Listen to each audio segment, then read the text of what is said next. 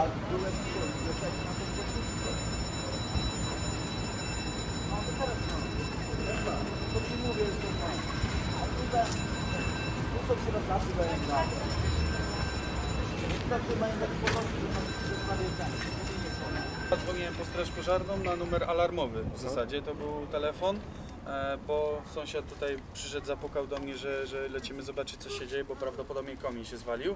E, Pani pozostawała na linii do momentu, kiedy ja nie zszedłem na dół i sam tego nie zweryfikowałem. No i okazało się, że faktycznie tam, w tamtym miejscu i kawałki na parkingu między samochodami były dosyć duże. Największy kawałek leżał tutaj przy, na, przed trawą. Służby przybyły w ciągu 3-4 minut, także, także mają kawałek, ale, ale mimo wszystko bardzo szybko to i sprawnie jakoś e, poszło. My prosimy oficjalnie, pisemnie, tutaj rodzice wystosowywali pisma od 2007 roku bodajże, e, z informacją o przeciekającym dachu. Też pojawiła się informacja odnośnie spadających dachówek. E, Nie tylko pisemnie, ale też ustnie osobiście byliśmy w, za, u zarządcy. Informowaliśmy o tym, cały czas była informacja, taka, taka psychologia zastosowana, żebyśmy poszli do Urzędu Miasta, bo to jest ich budynek. Z Urzędu Miasta odsyłali nas e, do zarządcy, bo zarządca jest za to odpowiedzialny. E, No i co jeszcze?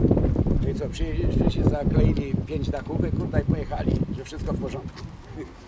A mało tego, jeszcze położyli folię na strychu, że to jest zabezpieczenie i wszystko w porządku. Tam belki gniją dalej i wszystko. Leci sufit, wiadomo, przecieka na trzecim piętrze wszystko.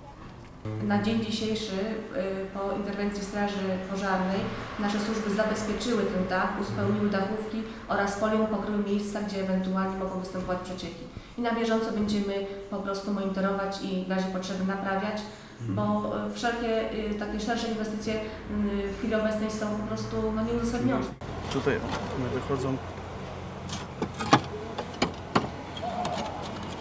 Wszystkie dachówki są duże.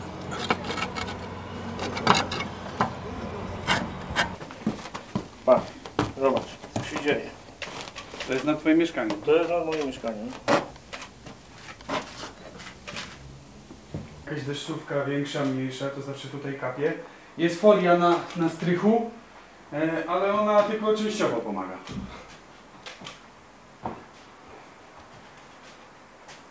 Banda łobuzów, kurwa, nic więcej. To A kryminał. facet do mnie mówi, że takie rzeczy się zdarzają. No. Aha, ja bym takiego Że- faceta to Ten takiego... Rzeszą to trzeba zarządzania zapobiegać, a nie- kryzysowego do nas powiedział, że to się zdarza. Ja mówię, przecież to nie ma prawa się zdarzyć. Jak to się W zdarza? ogóle nie ma, nie ma w ogóle w zakresie tego, co może być, a co nie może. Nie ma czegoś takiego. takiego Banda, łobuzów, nic więcej. Dotychczasowe przeglądy stanu technicznego budynku wykazywały, że zarówno elewacja, jak i dach są w średnim stanie technicznym. Natomiast y, protokół z 2016 roku z czerwca y, wykazał, iż y, dach oraz elewacja powinny podlegać remontowi kapitalnemu. Został opracowany kosztorys inwestorski na remont y, elewacji budynku oraz y, dachu. Y, Wartość y, kosztorysu inwestorskiego y, łącznie na budynek przy ulicy Spółdzielczej 29 y, i 31 wynosi 1 200 tysięcy. Z uwagi na okrojone środki finansowe Miejskiego Zarządu Nieruchomości w Świdnicy zwróciliśmy się z wnioskiem o dofinansowanie. Rozstrzygnięcie konkursu przewidziane jest na wrzesień, październik y, 2017 roku. Rozpoczęcie y, remontu jest planowane na marzec 2018. Jak Państwo widzicie, dzieci coraz więcej na podwórku, lato mamy. Tutaj jest dosyć liczna gromadka. Też chcielibyśmy, żeby te dzieci bezpiecznie się bawiły.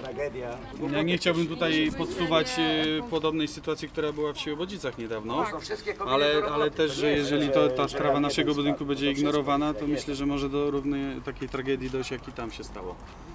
Aczkolwiek jesteśmy jeszcze daleko od tego, bo nie wiadomo w jakim technicznym... Państwo w ciągłym strachu, jakby nie było, w podświadomości, że ciągle coś się może w ciągłym Teraz to już strachu na pewno, i, jak, się, jak runął komin, i cały czas jesteśmy narażeni na straty ze względu na, na zalewające mówi, ja mieszkanie. tylko usuniemy kawałek zymsu, nie? To ja widziałem strażaków, trzymał tynk i rozbierał ten komin po kolei, bo no,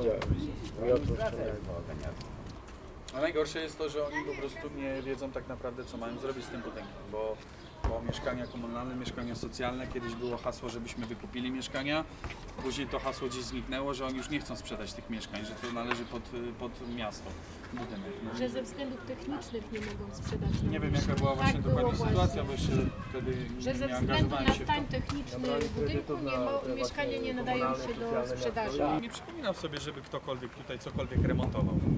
Jak stało, tak stoi. Były jakieś drobne wymiany, jakieś reparaturki, naprawy, owszem były, bo, bo, były niezbędne, no, ale żeby jakiś remont konkretny i widoczny, no to nic takiego się nie działo od 30 lat.